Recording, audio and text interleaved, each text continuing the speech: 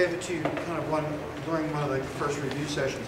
So now that we're kind of at crunch time, you know, in terms of getting ready, so let's say you're going to do anything, right? You know, to study on your own. I mean, anything to study on your own.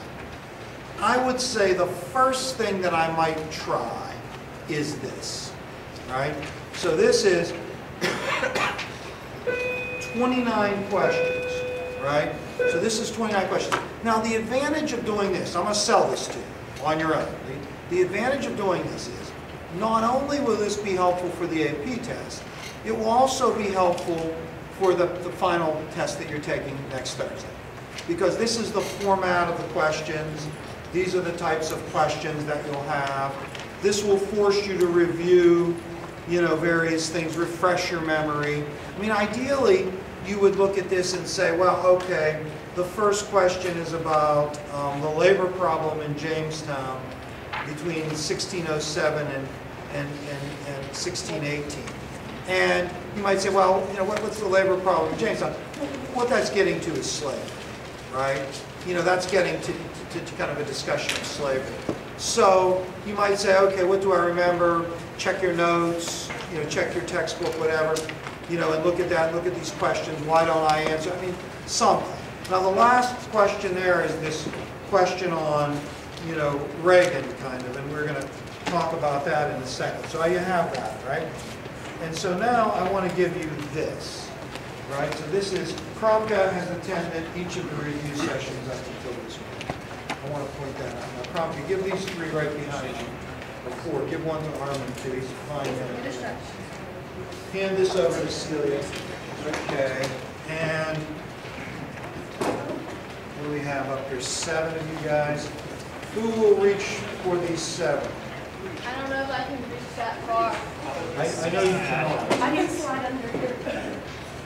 You're a gymnast. I mean, that was, I mean, can't you like leap over that somehow and uh, uh, flip over that? All right, so there's that. Okay. Now, let's start with, oh, I wanted to point out, I wanted to point out this book. So I, um, you know, I'm going to talk to you about Reagan, you know, uh, most, to some extent, you know, about Reagan.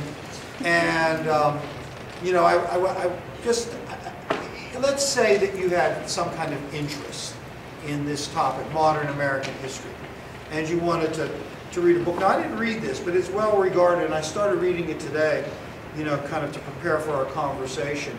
And I like the, the, the preface of it, and I like the introduction, which I read. So I, I'm kind of, you know, based on that, and, and the reputation of this author, I'm going to sort of recommend that this might be a good book to read. I mean, this is one of the ones that I want. It's called The Age of Reagan. And, you know, um, this is a guy that, that's a historian that wasn't necessarily nuts about Reagan's agenda and what he attempted to accomplish, but recognizes the importance of what he did and represented in terms of, of history, you know, and so it, it's kind of an interesting sort of take on it, right? Now, before we get to, to Reagan, however, I want to go to the list of 10 documents. Does anybody not have this? You might not have it with you, right? Do you, does, anybody, does anybody have it with you? The list of 10 dollars. If you do not, the heck with it, I'll give you another one. Pat, you do? Yeah. Um, um, Joe, you do? Yeah, so then that's, that's, that's five here. Celia, you do not? Send one over to Celia, right? Oh, you do? Yes. Oh, you do, oh, you do also? Mike has it, just take two out then, yeah. How many of you guys do have it? I have it. You, you have it also? Any of you do not have it up there? Betty? All right, gymnasts, come down and get these, um, with a double gainer and a two, and there we go. Oh my god, is that some little bottle? Oh my god. All right, I might have to Now, um, let's take a quick look at those documents. Declaration of Independence, Federalist Papers, Washington's Farewell Address. Let's just briefly for now stop at that and say today, and I, I, I know I did this in third period, I'm not sure if I did it in first period, I think I did it in first period. I know I did it in third period. I don't think I did it in fourth period. But I got to the point today where we were, we had introduced the Truman Doctrine, right? And we had said, and the Truman Doctrine is the eighth, is the eighth, eighth document here, right? The Truman Document, uh, Doctrine, and that's 47, that's his speech. The third document is Washington's farewell address. Now, if we, if we were comparing Washington's farewell address to the Truman Doctrine, what, what in essence, now Washington's farewell address had many aspects to it, but what was the big aspect that we would associate with Washington's farewell address? And, you know, we said this, you know, sort of time and time again. Go ahead, Caleb. Beware of entangling alliances with Right, beware of entangling alliances with European powers. Now, ultimately, you know, that seems to be the best indication. I don't, I don't say indication is the right word. The best representation of the isolationistic attitude that Americans developed over the years. What's our position in the world going to be? You know, where are we going to be in the world? And Washington kind of, you know, sets the stage. And remember, his farewell address is in the aftermath of, of, this hugely controversial time period of the French Revolution, where the French Revolutionary, you know, you know, government, you know, emerges, you know, um, and then eventually England and France get into a war, and there is a large faction in the United States that wants to support France, and there's another faction that does not want to support France, and you know, wants to remain neutral or support England. And the end result of this is tremendous criticism is heaped on Washington. And he's so frustrated by the criticism and what he calls the French faction that, that is highly critical of his lack of willingness to support this revolution that he says, hey, should we get involved in, in, in, you know, in their problems? Look at all the problems it created.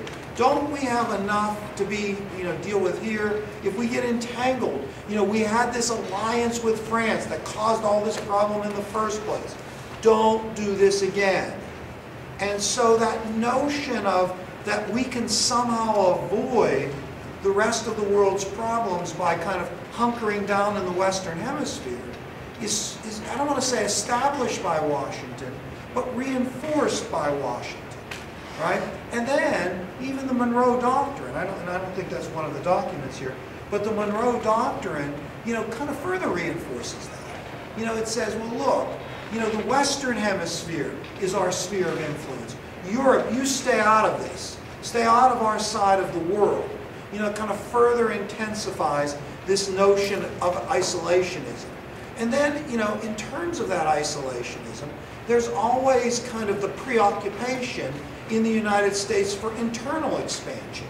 You know, I mean, look, you know, we don't need to expand outside the Western Hemisphere because the United States is kind of obsessed with Western expansion, which really doesn't culminate. Western expansion in the United States doesn't culminate until, until 1890.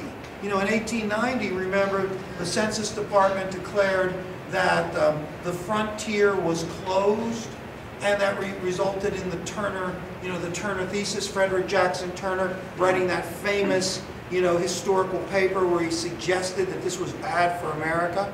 Well, it's not uncoincidental that, you know, around 1890, you know, 1896 in particular, the United States, this kind of burgeoning now, you know, you know, more intensely developed country, you know, kind of takes its first foray into, into kind of, you know, foreign affairs and colonization with the Spanish-American War, which starts in the Western Hemisphere, but also includes Asia, right, in the Philippines.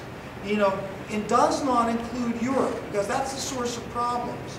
So the United States solidifies its position in the Western Hemisphere with Cuba, but then extends into Asia. But our interest in Asia is pretty much trade. Now, what reflected, what policy reflected our interest in Asia? You know, what policy? We said this was the third pillar of American foreign policy. Washington's farewell address, right? Um, the, the Monroe Doctrine, yes. The open door. The open door. So what does that say? We don't want really to, to, to colonize necessarily Asia. We colonize the Philippines because we want trade, the open door. We want free and fair trade, you know, to kind of support the, the economic development of the United States. And that's a question. Can the, the, the industrial might of the United States be sustained with its internal markets? Or does it need to constantly seek external markets? And is this the beginning of it? Well, you know, the United States, you know, they sometimes say that the Spanish-American War is America's coming out party. We're the debutante, right? You know, we, we've stepped onto the world stage there, you know, and established, you know, colonial possessions and, you know, in the Philippines and in other places and establish a policy in the Middle East. But, you know, um, isolationism is still a powerful force. It's World War I that challenges that isolationism, right? You know, here is the United States in desperate need of continued trade with the rest of the world in order to maintain our economic power, but the rest of the world is involved in this terrible conflict. And so what does, what does, what does, you know, Wilson want? Think about it. His initial goal is neutrality, but free trade, right? And, and, and kind of banking on the idea that we could remain somehow isolationistic. We never wanted to be economically isolationistic. You know, Washington didn't say, oh, don't trade with, with European powers. He just said, just don't get involved in their entangling alliances. Free trade is good. Oh, yeah. We want to trade. We need to trade, right? Hence the Spanish War and World War I. What does, what does Wilson do? Demand that people respect our neutrality.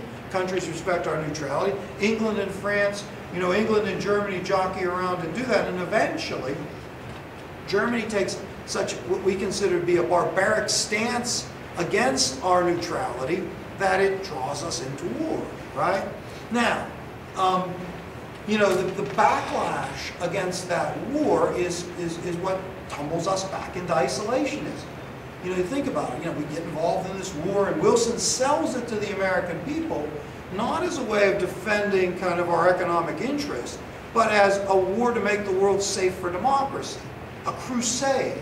You know, we either, if you think about it, up until, you know, and, and even through World War I, we were either isolationistic or crusaders right? We're either crusading for a cause in World War I, or we're going to be isolationistic. But we're not going to be anywhere in between that. So Wilson sells it as a war to make the world safe for democracy, a war to end all wars. When that falls apart, America retreats back into isolationism, right? That retreat into isolationism is so profound that it can't almost be cracked except for an attack on Pearl Harbor. I mean, even up to the day up to the day that Pearl Harbor was attacked, there was still a, an extraordinarily strong isolationistic sentiment that was prevailing in the United States. And, and Roosevelt was pushing it and testing it. The, the, the, um, the uh, quarantine speech in 37. But Pearl Harbor kind of breaks that open. And that's where I, that's where I brought you today in class, which takes you to the, to the Truman Doctrine here. I brought you today to the point where, okay, the war is over, right? The world's a mess, and the United States has this question, what are we going to do now? After this war, are we going to retreat back into isolationism? Or are we going to a kind of, um, you know, assume global leadership? You know, and, and, and kind of, you know, defend the values and the freedoms and other things in the economic interests. I mean, on one hand, there's the crusading element, defending, you know, the values and interests that we see as important. On the other hand, and that's what Truman is talking about, there's the economic interests. You know, can we sustain our prosperity without world trade to a world that's open to that world trade, not a communist world, right? So that's what Truman is asking in the Truman Doctrine. That's what he's saying. You know, look, look, you know, we have to be about supporting free people wherever they are defending freedom.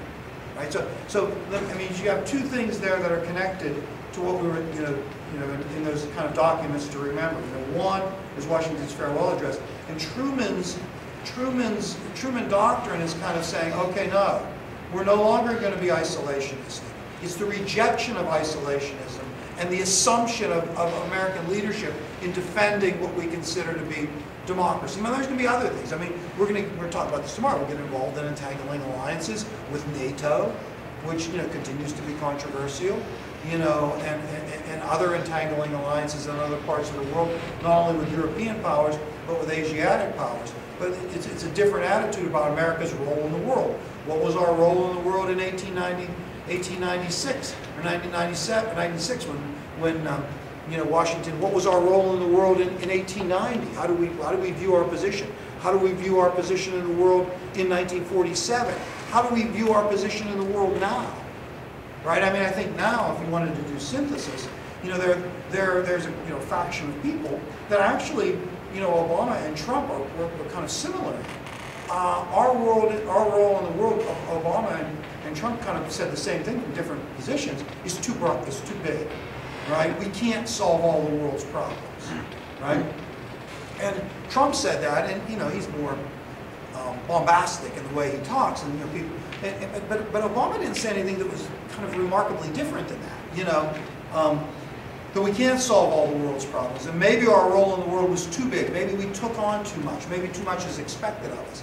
You know, maybe more should be. I mean, that's kind of a you know current debate. But okay, all right. Now you have that. Now let's go now to um, the, um, the, the, the, 2015 free response or um, document-based question, right? So Reagan, right? Reagan is, is, is what we want to talk about. 2015, explain the reasons why a new, why new, excuse me, new conservatism rose to prominence in the United States between 1960 and 1989, right? Now, that's the question. Explain the reasons why new conservatism rose in prominence in the United States between 1960 and 1989. Now, that's, that was two years ago the kids had to answer that question. I can tell you flat out, we were almost utterly unprepared for that question, right?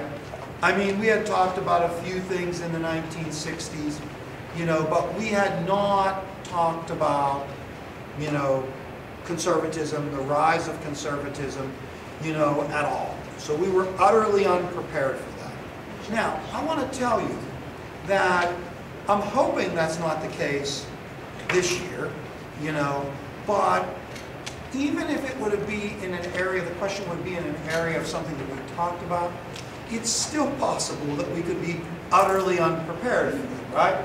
Now, if that's the case, then what you need to do is go to the documents, right?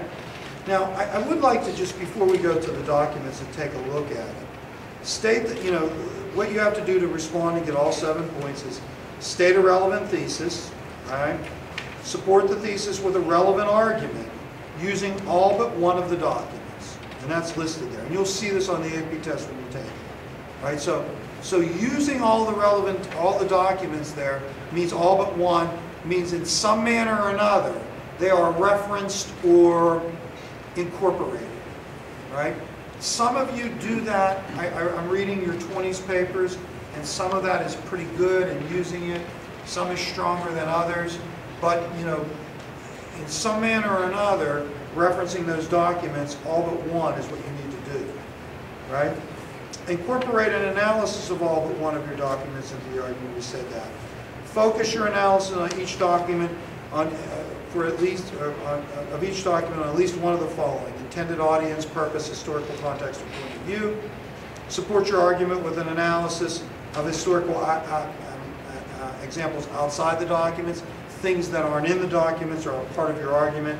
Connect the historical phenomena relevant to your argument to broader events or processes synthesize the, the elements above into a pervasive essay that extends your argument.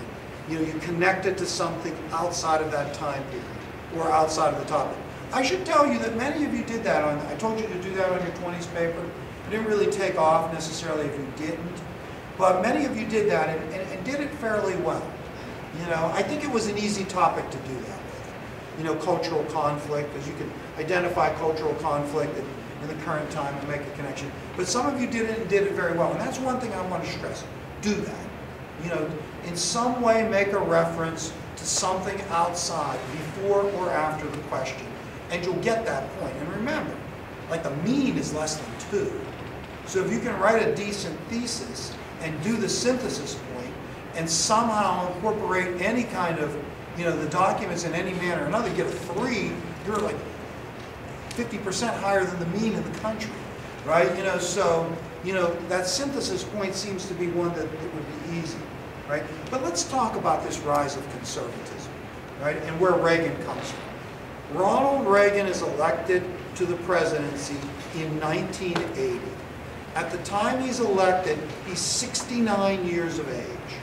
He was the oldest president uh, until, I- don't know if Trump is older than him or not. I think Trump is, yeah, is he, he's 70? Yeah. At the time, he was the oldest, oldest, oldest person ever to be elected to the presidency.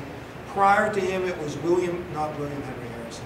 Yeah, William Henry Harrison. Is he the guy that died?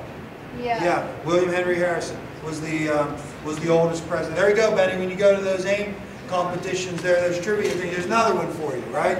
Um, William Henry Harrison, so, so Reagan was, was 69 years of age. Reagan was, was an actor by profession. Um, he, you know, he was um, uh, considered to be a B-grade actor. He was a movie star, right? He, he had starred in movies. There are motion pictures in which Ronald Reagan, you know, was the, the star. He was never a, a mega movie star.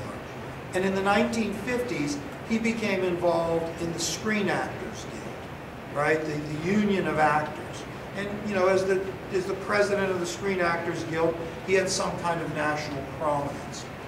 Um, Reagan starts out politically as an admirer of Franklin Roosevelt, which he, he remained an admirer of Franklin Roosevelt through his administration as a New Deal Democrat.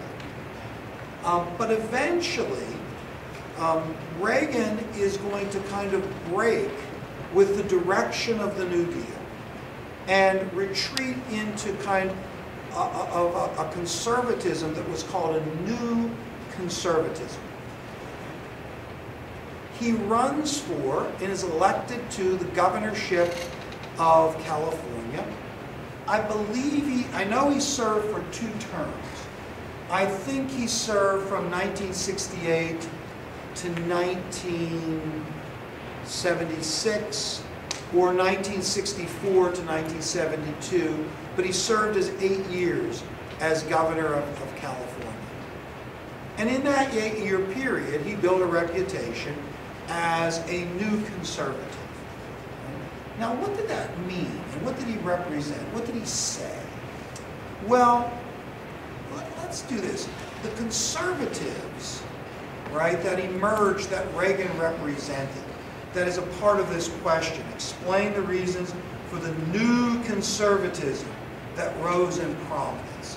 Just for a second, take a, a one-minute look at any of the documents and tell me if you can identify any of the reasons why that conservatism, what these people, I, I would say that there were things that they were upset with, right?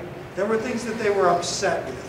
What were those things based on these documents? Take a look at them and see if you can come up with any of the, the things they were upset with and why, used on, using those documents.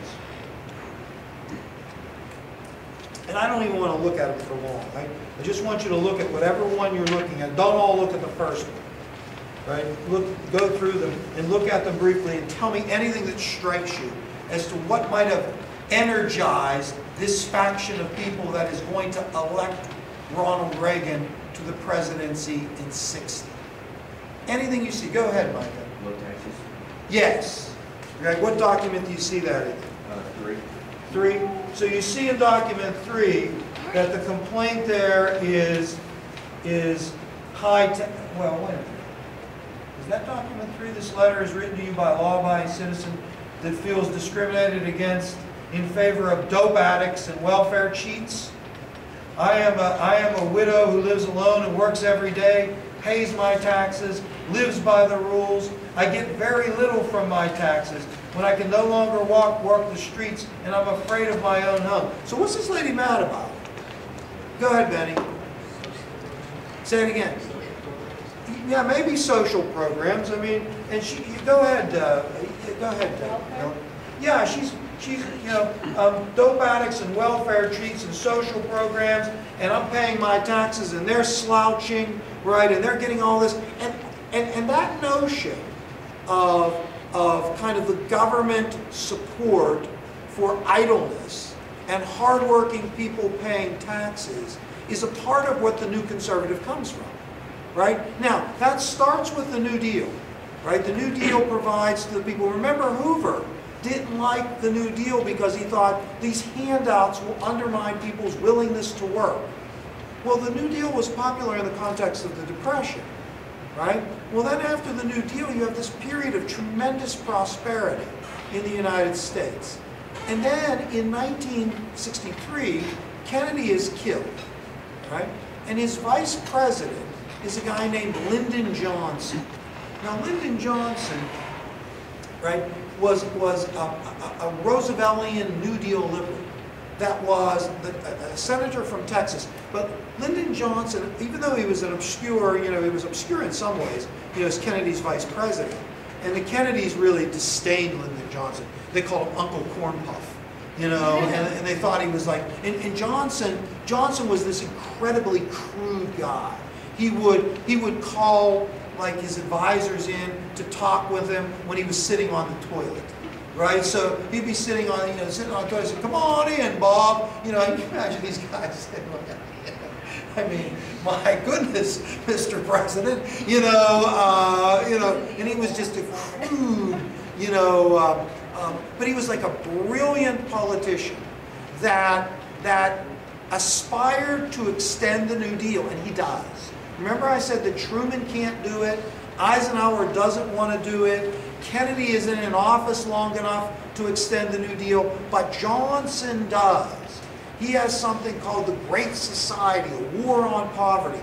He ex expands all these social programs, welfare and other things. All government spending expands to try to alleviate poverty. That's what this woman's responding to. She's responding to what she sees as big government, right, benefiting the losers in society. And what's she doing? She's paying her taxes, right, and working hard, and she feels alienated. Wow, that was good. Let's see if we can do another one.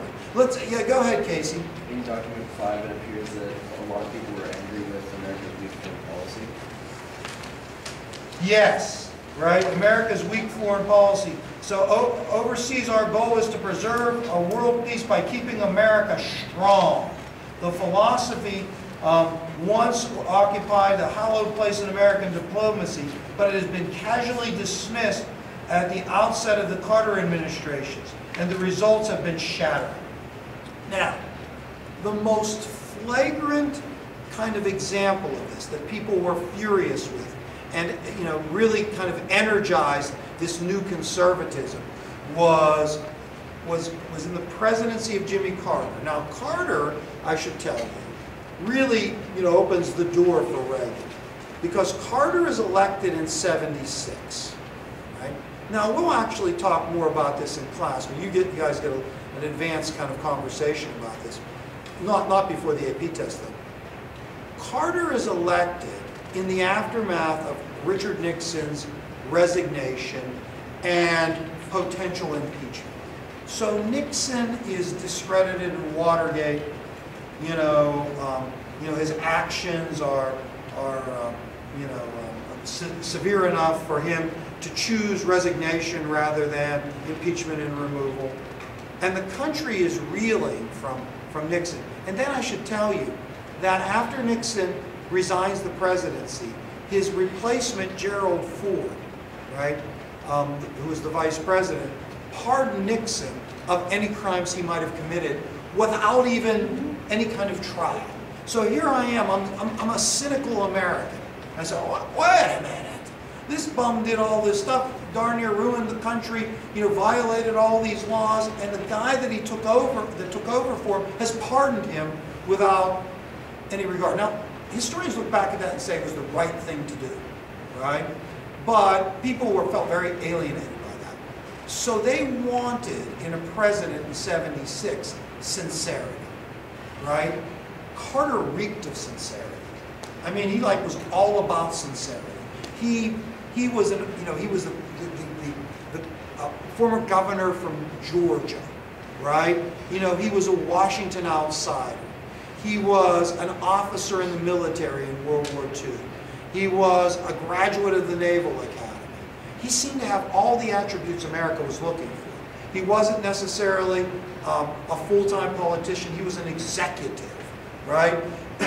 an officer, a governor. He taught Sunday school in his, his Baptist church in Plains, Georgia, this little town. So every Sunday morning, you know, former Governor Carter taught Sunday. He still does. He's like 92 years old. I still think he, he teaches that Sunday school class every Sunday morning. You know, his his his wife Rosalynn was he was he, he argued to be an evangelical Christian, you know, a born again Christian. You know, he, he told the country, I'll never lie to you. Right? Carter could have never been elected at any other time in American history than 1976. So he gets elected, and his administration is disastrous in a number of ways. Right? He he takes a lot of actions that, that, that, that turn out to be disastrous. But one of the things that hurts it, and what they're referring to is, in 1979, in 1979, the Iranian people had risen up against, well, they had risen up previously against their leadership. Iran had been under the leadership of a Shah, who was basically a secular figure, you know, who had connections to the West, that was a supporter of the United States, who we supported. But the Shah of Iran and his family seemed to be corrupt, and there was an Islamic revolution in Iran where the Shah was forced to, to flee the country. He fled to Egypt. The Ayatollah Khomeini took over and established kind of an Islamic republic in, in Iran. You know, they retreated into kind of Islamic conservatism, and the Shah was abroad. But he got cancer, and he requested to go to the United States for treatment. And Carter admitted him, this is consistent with Carter, for medical treatment while Iran went crazy. They wanted him back. They demanded the United States return him. They wanted to execute him. Carter refused to do that. And so they seized our embassy. What's the movie? You see the movie? Uh, Argo, Fargo, something. Uh, Argo was a couple of years ago. No, you see that movie? But anyways, they seized our embassy. They, they took over the embassy. They, they held hostage 250 American hostages in the Iranian hostage crisis. We demanded that they give them back. They refused. Right? They wouldn't give these people back. They said, you give us the Shah, give you back. The United States was unable to force them to do so. Carter eventually capitulated, capitulated to kind of public opinion, sent a, um, like a secret mission to try to, and the mission crashed in the desert. And Carter seemed weak. America seemed weak. You know, besides that, we had withdrawn from Vietnam in 75, in, in kind of, you know, in 73, 75, the North Vietnamese took over the country. We seemed weak, you know. Um, and so that's another thing that the new right was, was, was angry about. I mean, we used to be strong. We used to be great. You know, hardworking people used to be able to get ahead. But now the government, you know, is supporting the lazy. Pick another one. One more, one more. Just pick another. Pick, what, what, let's just do one more. This is wonderful. We, before the baseball players leave to, to, to do fungo, do they still do the fungo practice in baseball? Before they leave, pick another one. Pick another. Which one did you pick? Go ahead. The security of like the house Which one? Documents uh, six. What's she against there? Uh, You'll never guess. Look at it. I am pleased that God blessed me with the privilege of being a woman. I have never been envious of the role of men, but have respect for both sexes. no, women's Yeah. rights. Yes, feminism. The other thing that the new right was mad about was that civil rights and feminism had gone too far. Right? Now, the civil rights movement of the 1960s had crushed desegregation, but what the new right said, hey, hey, that went too far. Now, you might say, what, what would be an indication that if I was going to argue that civil rights went too far, what would, what would really bother me if I'm in the new right that's out there? I mean, I don't know if you'll get this, but what would really bother me? Do you know what affirmative action is? Affirmative action. Affirmative action is, okay, we are going to hire four people. One has to be black, one has to be a woman, one has to be a man. Affirmative action. They're saying, okay, no, no, no, no. Civil rights went too far.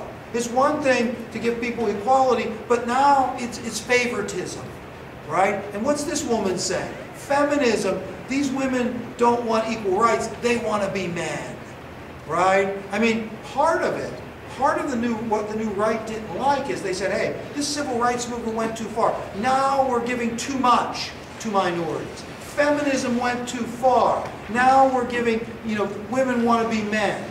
They didn't like the Roe versus Wade 1973 abortion decision. They said this is a travesty, a war on the family, right? They, you know, look, gays come out of the closet in larger numbers in the 1970s. I mean, you know, that's controversial now, right? But look, in the 1970s when that started happening, they said, look, the family is being undermined. Homosexuals are everywhere. Abortion is, is here. Where is the traditional values of the country that made us great? You know, so what Reagan does is he taps the people who feel this way. Right? He taps this vein of people. the people that think that government is supporting laziness and idleness and not supporting, you know, the common man. The people that think that the cultural, you know, the countercultural things of, of feminism and civil rights and gay rights and abortion and you know living with each other and you know premarital sex and drugs and all of those things have destroyed the values of society that America no longer was the strong powerful international country that we once had been that taxes are too high and restrict kind of people's you know ability to, to, to, to, start businesses and other things and that the Democratic Party and even parts of the Republican Party were responsible for all of this. And the embodiment of it was Carter.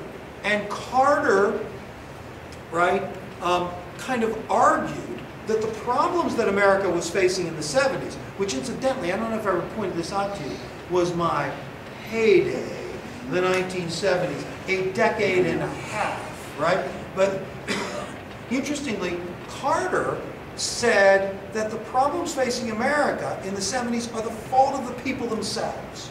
There was this famous speech. Carter got so despondent that he went up to, Camp, I think it was Camp David, for 12 days and cloistered himself. And he brought in a hundred like smart people to tell him what was wrong with America. And then he came and delivered what became known as the malaise speech. And he said, what's wrong with America is we've, we've lost our commitment to work on our own problems, to set aside our differences. And he gives this speech which basically said that America, the reason we're suffering all these problems is because of you. Right? Now, Ronald Reagan comes along in 1980. He gets the Republican nomination, and what he says is, look, America, the problems in America are not you or us. The problem is government. Now look at 10 documents to remember. Right? Look at 10 documents to remember. Look at the 10th one. Right? This is the embodiment of the Reagan Revolution. The embodiment of the Reagan Revolution, 10 is, and this is Ronald Reagan's first inaugural address in 1981. In the present crisis, notice how he says that. In the present crisis, government is not the solution to our problem.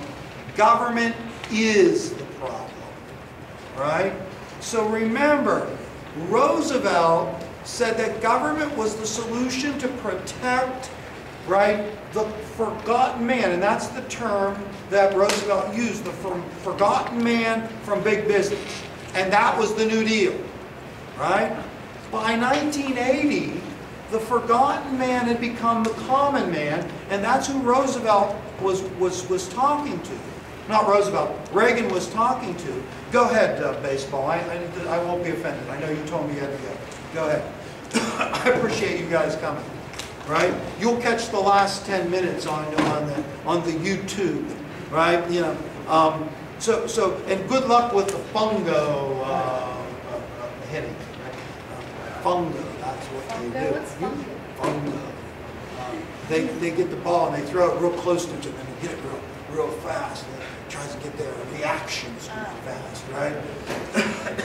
Well, so anyways, um, uh, what were we talking about, Oh, what were we saying? What was it saying? Say it again. Oh, yeah, yeah, yeah. Government is- I was just, the the forgotten man. But what Reagan comes along and says is that government now is the problem, not the solution. The government is favoring all the minorities, all the losers, all, you know, government is supporting all the people that are un-American, and it's the problem. And the solution is to get government out of the picture.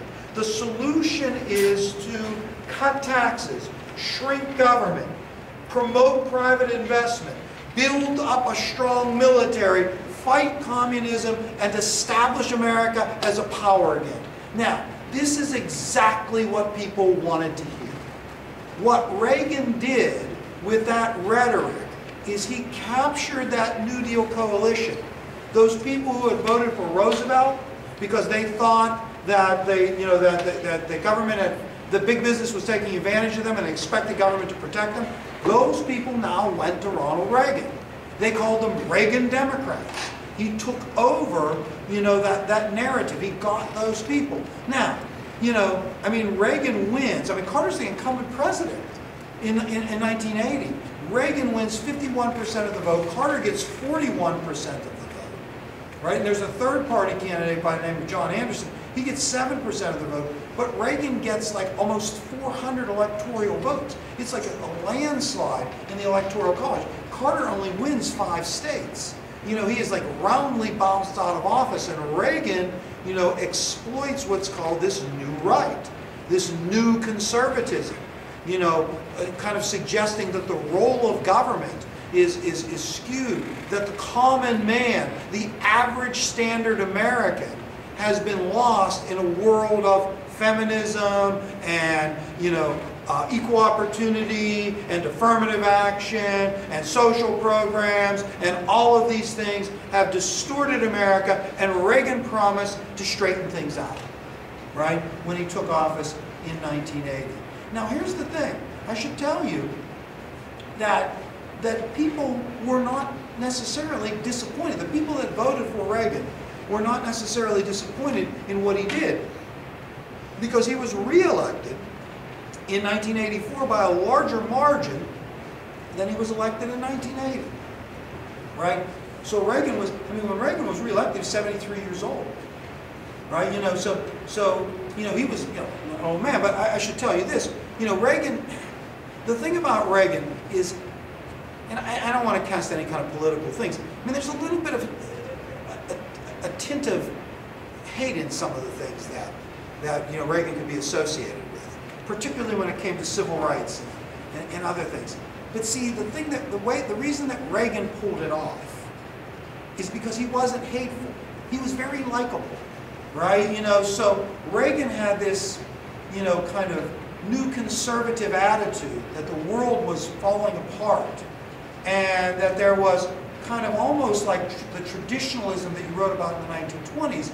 But Reagan was kind of amicable and seemed to be kind-hearted and didn't really, he, he, he certainly wasn't Trump, you know, with that kind of bombastic attitude, you know. He was very, again, likable.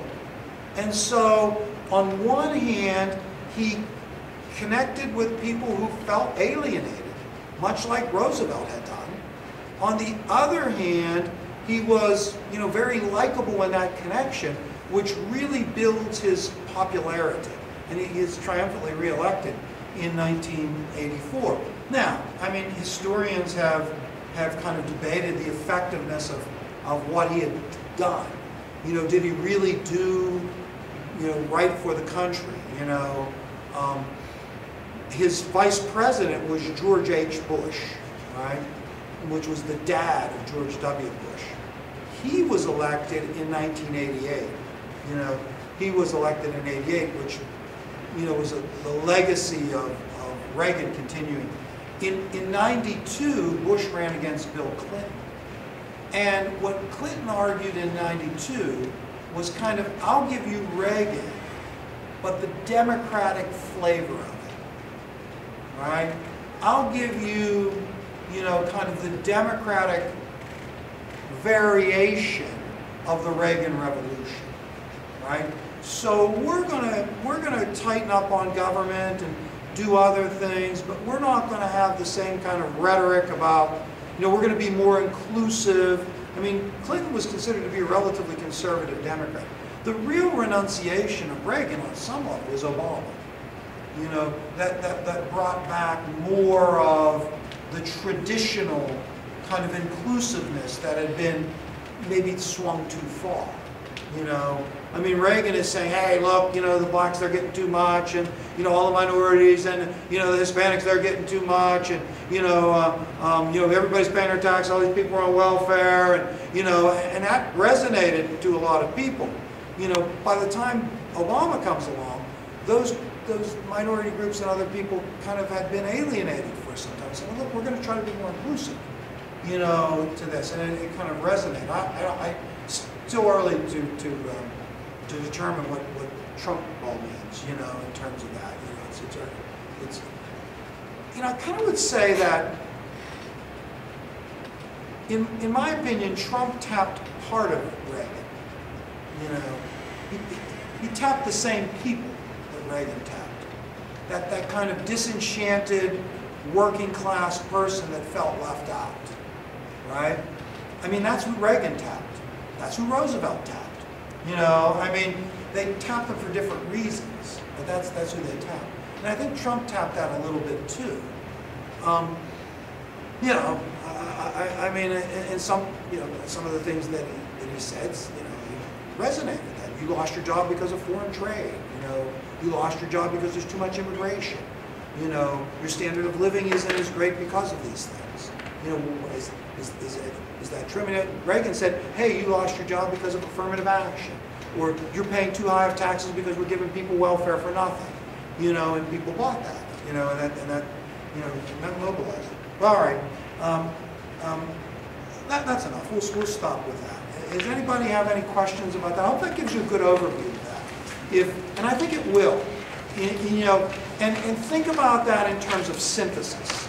If you have to connect something out, I mean, I don't think they're going to ask another question about Reagan as a document-based question, or about environmentalism in 1974, which was another question I think last year, which we were fully and utterly unprepared for. More so than this. I mean, from this, I'm hoping you can see that you could pick things up on your own from the documents and try to put together I'm hoping that we have something um, a little bit more manageable next year. So last year was environmentalism in the 1970s. It might have been, no, it was women's movement Oh. from 1945 to 1975. Utterly unprepared. We can't go 0 and 3 for the document base. This is going to be a good year. Yeah, I remember Joel came home and he was like, he's like, yeah, we had a whole document-based question on something we never even talked about. Yeah, we can't go 0 and 3. Yeah, Joel is not happy. You got a 5 though. Yeah, he did. Where's your friend Liz Temple? Where's- Liz Temple had to go to a UPMC uh, job shadow type interview thing. Ah, yeah, I'm missing my friend his today. I see. Well, I'm so happy I got, See, I'm so happy I got a, um, Good thing is at least one Tomcat here. Can do without a you're still on, you're still?